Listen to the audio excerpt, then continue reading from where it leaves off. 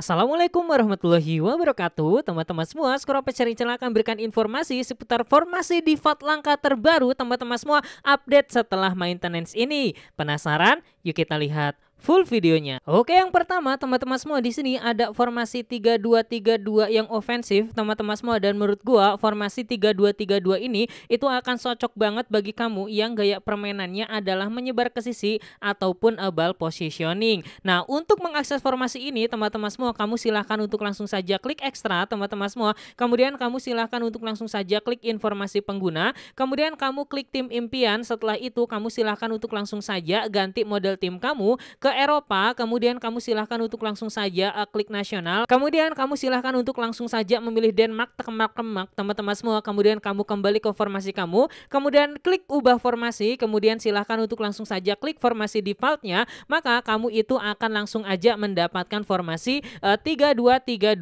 yang super ofensif. Kemudian teman-teman semua dalam menyusun formasi ini itu sebenarnya uh, kuncinya itu ada di IMF-nya teman-teman semua. Kalau kamu ingin menggunakan strategi gaya permainan permainannya adalah playmaker kreatif, teman-teman semua gue menyarankan kamu untuk menggunakan MF yang gaya permainannya adalah playmaker kreatif. Kemudian untuk LMF dan juga RMF-nya, teman-teman semua gue menyarankan satu menggunakan LMF murni dan satu lagi menggunakan back sayap yang bisa dipaksakan menjadi RMF termantul-mantul. Contohnya misalkan kayak si Kejo Cancelo ataupun Trent Alexander Arnold, teman-teman semua untuk memberikan support penyerangan dari sayap, teman-teman semua karena tentunya ketika bolanya udah dikasih ke si De Bruyne-nya, teman-teman semua selaku playmaker kreatif kreatif, permainannya akan agak sedikit mendelay dan itu memberikan waktu kepada Kylian Mbappe ataupun si Cancelo teman-teman semua untuk support maju ke depan sehingga bolanya bisa dibagi. Kemudian kamu bisa berikan umpan cantik manis manja musnah primadona kepada dua striker yang udah ada di depan ini. Kemudian alternatif keduanya teman-teman semua kalau kamu ingin menggunakan MF-nya yang gaya permainannya pemburu celah juga boleh teman-teman semua. Cuma dengan syarat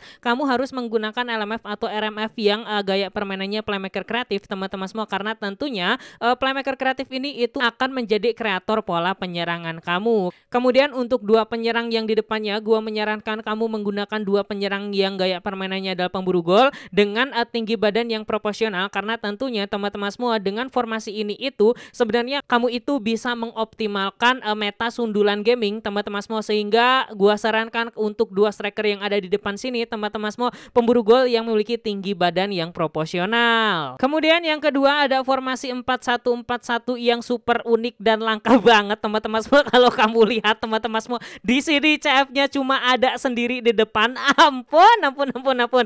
Dan menurut gua teman-teman semua formasi ini itu akan cocok banget bagi kamu yang gaya permainannya adalah serangan balik atau bagi kamu yang gaya permainannya adalah uh, menyebar ke sisi. Kemudian teman-teman semua untuk mengakses formasi ini kamu silahkan untuk langsung saja ganti model tim kamu. Kemudian kamu pilih Eropa. Setelah itu kamu silahkan untuk langsung saja klik nasional. Kemudian kamu ganti model tim kamu menjadi Polandia, kemudian kamu silahkan untuk langsung saja ubah formasi dan uh, pergi ke formasi defaultnya. Kemudian teman-teman semua dalam menyusun formasi ini, gua menyarankan kamu menggunakan CF yang komplit keplit keplit di mana teman-teman semua dia juga bisa mainan uh, passingnya nggak terlalu jerak teman-teman semua.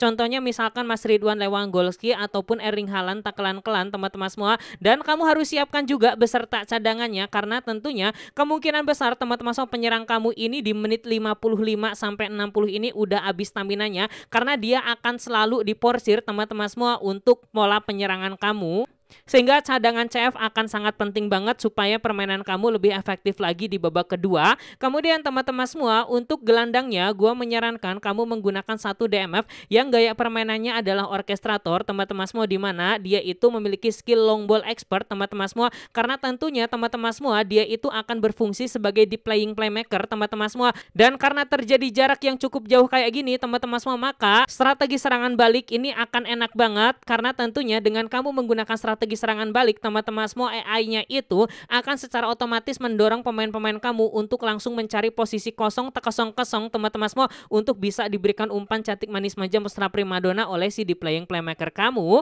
Kemudian yang kedua ada formasi 4-2-1-3 teman-teman semua ini itu akan sangat enak banget bagi kamu yang gaya permainannya adalah serangan balik cepat ataupun ball positioning teman-teman semua. Dan untuk mengakses formasi 4-2-1-3 versi spesial ini kamu silahkan untuk langsung saja ganti model tim kamu. Klik Amerika Utara teman-teman semua. Kemudian kamu silahkan untuk langsung saja ganti ke Liga Amerika. Kemudian klik Charlo BBGW teman-teman semua. Kemudian kamu ubah formasi kamu ke formasi default maka kamu akan mendapatkan formasi 4-2-1-3 versi spesial termantul-mantul. Kemudian dalam menyusun formasi ini kuncinya itu ada di IMF-nya teman-teman semua. Kalau kamu ingin menggunakan IMF yang gaya permainannya adalah lari pancingan atau uh, pemburu celah teman-teman semua, uh, kamu harus menggunakan satu salah satu sayapnya itu adalah playmaker kreatif. Kalau di kiri biasanya ada Neymar Junior, kalau di kanan biasanya ada Leo Messi, Takashi Kasi. Kemudian teman-teman semua untuk CF-nya gua menyarankan kamu untuk menggunakan CF pemburu gol. Kemudian Kemudian untuk RWF-nya kamu bisa menggunakan RWF yang gaya permainannya adalah saya produktif, saya penjelajah ataupun pemburu gol yang bisa kamu paksakan menjadi RWF termantul-mantul, contohnya Kilan Bape. Kemudian teman-teman semua untuk double CMF dan juga DMF di sini gua menyarankan kamu menggunakan satu DMF yang gaya permainannya orkestrator aja dan di sampingnya kamu menggunakan satu CMF box to box termantul-mantul teman-teman semua yang akan membantu pola penyerangan karena tentunya teman-teman semua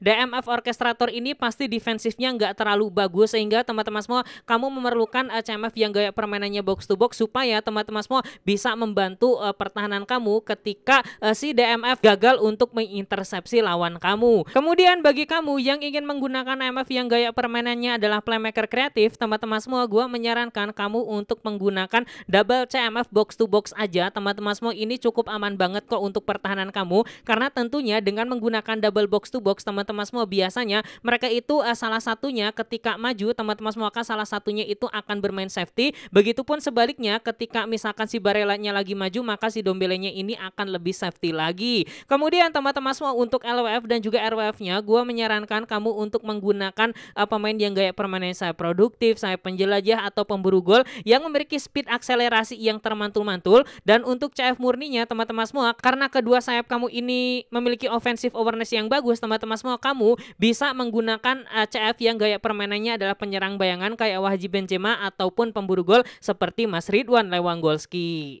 Kemudian ada formasi 3142, teman-teman semua menurut gua formasi ini itu akan sangat cocok bagi kamu yang gaya permainannya adalah menyebar ke sisi ataupun serangan balik. Untuk mengakses formasi ini, kamu silahkan untuk langsung saja ganti model tim kamu, kemudian kamu klik Eropa, setelah itu klik nasional, kemudian kamu silahkan untuk langsung saja ganti model tim kamu ke Wallace, kemudian ubah formasi, kemudian klik formasi defaultnya, maka kamu akan mendapatkan formasi 3142 termantul-mantul. Dan di sini teman-teman semua gua menyarankan menyarankan kamu menggunakan DMF yang gaya permainannya pemain jangkar karena formasi ini ofensif banget. Kemudian gue menyarankan kamu untuk menggunakan satu CMF pemburu celah dan satu CMF uh, box to box termantul-mantul. Kemudian LMF-nya kamu bisa menggunakan LMF yang playmaker kreatif ataupun kamu juga bisa menggunakan LMF yang gaya permainannya saya produktif ataupun saya penjelajah termantul-mantul. Kemudian untuk RMF sebelahnya teman-teman semua gue menyarankan kamu untuk menggunakan uh, salah satu back sayap yang dipaksakan menjadi RMF. Terima kasih telah menonton. Wassalamualaikum warahmatullahi wabarakatuh.